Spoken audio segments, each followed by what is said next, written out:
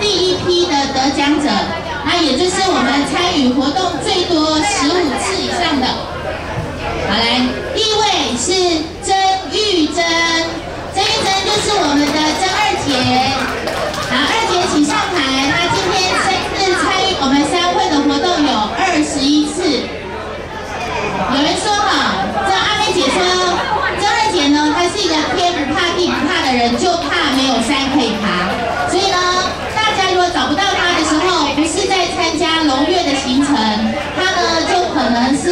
西周山。自己去自主训练哈，他已经连续六年，然后都是我们参与奖的第一名。他拿到的参与奖的红包都没有把它花掉哦，都是存起来，而且今年可以拿到第七个红包。